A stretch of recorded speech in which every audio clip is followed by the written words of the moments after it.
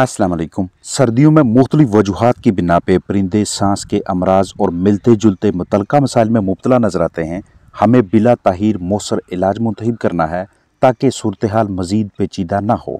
इसी सिलसिले में कुछ आजमूदा मरकबात शेयर किए जाएँगे, जिनके अच्छे नतज तेज़ी से सामने आते हैं।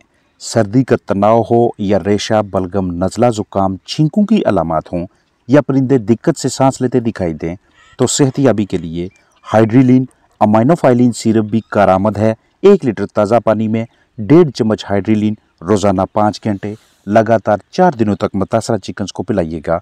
अगला ऑप्शन मेंटॉक्स लिक्विड का है, जिसे पानी में शामिल करके भी मुतासरा बर्ड्स को दे सकते हैं और बजरिया स्प्रे भी फ़ायदा उठा सकते हैं। पानी में मिलाकर देना चाहें तो एक सी मेंटॉक्स, दो लीटर ताज़ा पानी के हिसाब से लगातार पाँच दिन रोज़ाना आठ घंटे इस्तेमाल करवाएँगे। और अगर स्प्रे के ज़रिए फ़ायदा उठाना चाहें तो एक सीसी या एक मिलीलीटर मेंटॉक्स छः लीटर पानी में शामिल करके दिन में दो मरतबा, यानी सुबह शाम स्प्रे करें। लगातार पाँच दिनों तक इस अमल को जारी रखें। इस प्रोडक्ट में मौजूद menthol camphor eucalyptus oil pine oil peppermint oil और लेमन ऑयल बिला ताहिर मुतासरा चिकन्स के निज़ाम तनफ़स को मज़बूत करने, सांस लेने में आसानी पैदा करने म्यूकस रेशा बलगम बाहर निकालने और इम्यून सिस्टम को मज़बूत करने में मददगार साबित होते हैं, जिससे चिकन मर्ज के तनाव से बाहर निकलकर तेज़ी से रिकवर होते हैं, सेहतियाब होते हैं। और अगर आपकी गफलत की वजह से मर्ज ने शिद्दत पकड़ ली सूरत हाल पेचीदा हो गई तो तीसरे ऑप्शन के तौर पर अपने पास फेनरमिन सिरप, क्लोरफिनरामिन मेलिएट 450 एम की ये पैकिंग लाजमी दस्तियाब रखा करें। इसे आपने लगातार पाँच दिनों तक एक तीन की रेशो से इस्तेमाल करवाना है। एक दिन का मतलब ये होगा कि एक सीसी फेनरमिन सिरप तीन लीटर ताज़ा पानी, सुर्ख, छुपती, बहती हुई आँखें, छिंकू की अलामत, बहती नाक, गले में हारश, एलर्जी की वजह से नाक बहना और बुहार, नजला, जुकाम में क्लोरफिनरामिन मेलिएट बेहतरीन चॉइस है। मैंटॉक्स भी रेस्पिराफ की तरह ही सांस के मसाइल के सिलसिले में बतौर मुआवन, यानी सपोर्टिव थेरापी और रोकथाम के तौर पे काम करता है। जानदारों को रानी खेत, यानी एनडी बर्ड फ्लू सीआरडी यानी chronic respiratory disease coryza, IB या वैक्सीन स्ट्रेस या किसी भी बद इंतज़ामी की वजह से सांस लेने में दुशारी का सामना हो, या सांस की नाली में रुकी हुई बलगम को निकालकर सांस लेने में आसानी पैदा करनी हो, या बीमारी के हमले की सूरत में कूत मदाफत यानी कि इम्यूनिटी बढ़ाना चाहें, या फिर ऑक्सीजन के हसूल को यकीनी बनाना हो तो इस तरह के मरकबात इन मकासद के लिए बेहतरीन इंतहाब होते हैं। अक्सर चिकन नज़ला, ज़ुकाम, बुखार और फ्लू का शिकार हो जाते हैं, जिसकी मुख्तलिफ़ वजूहत है। कलगी यानी ताज को हाथ के अंगूठे और शहादत की उंगली के दरमियान रखें मतलब इस तरह से पकड़ें तो ये काफ़ी ज़्यादा गर्म महसूस होती है, या आँखों से पानी का बहना, या फिर छींके मारना। बुखार की सूरत में मुर्गियों का मुँह खोल कर देखें तो बाज़ात अंदर की जानब भी दाने नज़र आते हैं, और अंदरूनी झिली भी खुश्क सी दिखाई देती है, खुश्क वेंट होती है, पतली पीठें करते हैं।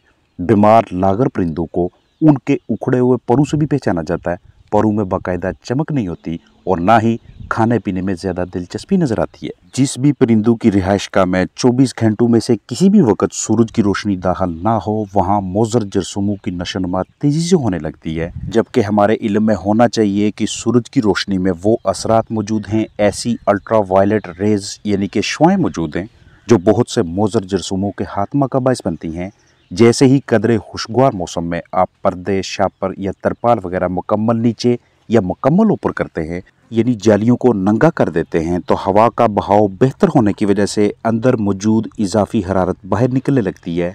हाउस के अंदर से मॉइस्चर लेवल भी कंट्रोल में रहता है और नमी भी, बदबू और गर्दो गुबार भी बाहर निकल जाती है। और ख़तरनाक जरसूमों की नशोनुमा भी रुक जाएगी। हमारी ऐसी एक्टिविटीज़ सरगर्मियों का नतीजा ये निकलता है कि चिकन्स को अपना जिसमानी दर्जा हरारत बरकरार रखने में आसानी रहती है। परिंदे ना ही तेज तेज सांस लेते हैं और ना उनके अजसाम से ताकत का जिया होता है। सांस की नाली में खुश्की, थकावट, खराब आँखें सीआरडी और इनसे मिलते जुलते मसाइल का ताल्लुक, पर्दों, तरपाल वगैरह की गलत मैनेजमेंट के साथ है। लिहाजा चिकन्स की बेहतरीन इम्यूनिटी और अच्छी सेहत के लिए दिन के औकात में इस तरह का तनाव से आज़ाद माहौल यकीनी बनाइएगा। किसी भी बर्ड सेटअप पे ज़रा सी गफलत अमोनिया जैसी मोजर गैस में इजाफा का बायस बनेगी? और यही इजाफा मुर्गियों की सेहत की खराबी की वजह बन जाएगा। अगर इस मरहले पे भी थोड़ी सी मेहनत और समझदारी से काम लिया जाए तो हम अपने कीमती परिंदों की आँखें, नाक, गला, सांस की नाली, हवा की थैलियों और फेफड़ों को मुतासर होने से बचा सकते हैं। ज़्यादातर अमोनिया गैस रात को कटी होती है और चिकन्स की अमवात नज़र आती हैं। मुर्दा चिकन को बाहर निकालने में ताहिर की वजह से दीगर साथी परिंदे इस मुर्दा को नोचने लगते हैं, क्योंकि बढ़ती हुई अमोनिया गैस दीगर ज़िंदा चिकन के लिए भी बेजारगी उकताहट का बायस बनती है, जिसकी वजह से फलाक में बुरी आदात वाजह तौर पर नज़र आएँगी। नोचने की वजह से मुर्दा मुर्गी के जरसू में सेहतमंद मुर्गियों में फैलने लगते हैं और वक्त के साथ साथ मुर्गियाँ एक दूसरे को ही काटने लगती हैं। बिस्तर में मॉइस्चर हो, नमी का तनासब पहले से ही ज़्यादा हो और बिस्तर पर रहने वाली मुर्गियाँ भी पतली बीठे करने लगें तो अमोनिया गैस की पैदावार बढ़ने लगती है। अमोनिया गैस का बनना इतना ख़तरनाक नहीं, जितना इस गैस को बाहर निकालने के लिए रुकावट खड़ी करना खतरनाक है। बाहर निकलने में रुकावट तब दरपेश आती है, जब अच्छी तरह से क्रॉस वेंटिलेशन नहीं होती, जब मुहालफ साइड पे खिड़की, एग्जॉस्ट फ़ैन या जाली वगैरह नसब नहीं होते, यानी जब गैस के अखराज का कोई बाकायदा इंतज़ाम नहीं होता तो तब अमोनिया की मकदार खतरनाक हद तक इकट्ठी हो जाती है। अमवात बढ़ने लगती हैं। चिकन का अच्छा वज़न नहीं आता। इम्यूनिटी दिन ब दिन कम होगी और पैदावार भी मुतासर होगी। और नतीजा ये निकलेगा कि हमें इस तरह के मरकबात, टॉनिक्स, अद्वियात का सहारा लेकर अपने चिकन को सेहतियाब करना होगा। परिंदों के अमले तनफस ने ऑक्सीजन को जज़ब करना, कार्बन डाइऑक्साइड, जहर यानी टॉक्सन्स वगैरह और हरारत को बाहर निकालना होता है। तजाबियत का जिसम में तोज़न रखने के साथ साथ सांस की नाली और दीगर हिस्सों को साफ़ रखना होता है। मुर्गियों के निज़ाम तनफस में ये वाले मुख्तलिफ़ हिस्से, मुख्तलिफ़ अज़ा शामिल हैं। सबका अलग अलग अपना अपना फ़ंक्शन है। निज़ाम तनफस की सेहत या हफाजत इन तीन दफाई तरीक़ाकार के तहत होती है। पहला, म्यूकस सक्रीशन, के जिसके तहत जिसम से रतूबत खारज होती है। दूसरा, सीलिया, इस तरह की साख्तें जो मुख्तलिफ़ ज़र्रात, डस्ट पार्टिकल्स गंद कचरा वगैरह को अपने अंदर जकड़ कर फिर बाहर निकालने की सलाहियत रखते हैं। और सीलिया ने ये काम म्यूकस के साथ मिलकर करना होता है। ट्रैकिया में किसी किस्म की डस्ट वगैरह फंस जाए, उसे बाहर निकालते हैं ताकि निज़ाम तनफस सही तरीके से काम करता रहे। इसके साथ साथ फेफड़ों में सेल्स मौजूद होते हैं, जिन्हें आप स्केवेंजर सेल्स का नाम देते हैं। ये सफ़ाई करने वाले हुलिये होंगे। ज़र्रात और बैक्टीरिया को मारना, जिसम से बाहर निकालना, ये इन सेल्स का काम होता है। ये सारे आपस में मिलकर काम कर रहे होते हैं। अगर म्यूकस गाढ़ा हो जाए तो सीलिया अच्छी तरह से काम नहीं करते। सीलिया अच्छी तरह से काम ना करें तो आगे की जन्म मौजूद सेल्स बेहतरीन तरीके का फ़ंक्शन नहीं देते। यानी इनमें से कोई एक भी डैमेज हो जाए तो निज़ाम तनफस सारे का सारा ख़राब होने लगता है। अगर सीलिया डैमेज होते हैं या उनकी तादाद कम हो जाती है तो नतीजा ये निकलता है कि अमले तनफस की इम्यूनिटी यानी मुदाफ़त कम हो जाती है बाहर से ज़्यादा से ज़्यादा जरसूम पैथोजेंस गर्द गुबार सांस की नाली से मुर्गियों के अजसाम में दाखिल होते हैं। जरसूम सांस की नाली से हवा की थैली और हवा की थैलियों यानी एयर सैक से फेफड़ों तक पहुँच जाते हैं।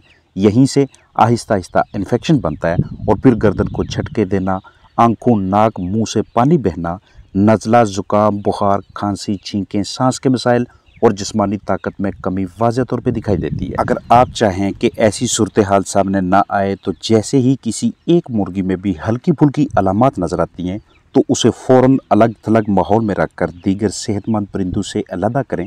जिसमानी दर्जा हरारत बरकरार रखने के लिए हरारत गर्माश का सस्ता सा ज़रिया दस्तियाब रखें, ताकि मुतासरा बर्ड जल्द से जल्द सेहत याब हो और इसके साथ साथ वो वाले प्रोडक्ट्स इस्तेमाल में लाएँ जो मैंने आगाज़ में आपके साथ इस वीडियो में शेयर किए हैं। और आजकल के मौसम में सबसे ज़्यादा ख़तरनाक चीज़ हमारे बर्ड्स के लिए अमोनिया गैस है। सर्दियों में मुर्गबानी को हकीकी मानों में मुनाफा बख्श बनाने के लिए अमोनिया गैस को कंट्रोल में रखना नहायत ज़रूरी है, क्योंकि अमोनिया गैस की वजह से मुर्गियाँ बहुत जल्द बीमार हो जाती हैं और नौबत अद्वियात के इस्तेमाल तक जा पहुँचती है। अपना ख्याल रखिएगा। असलम वरहमल वर्का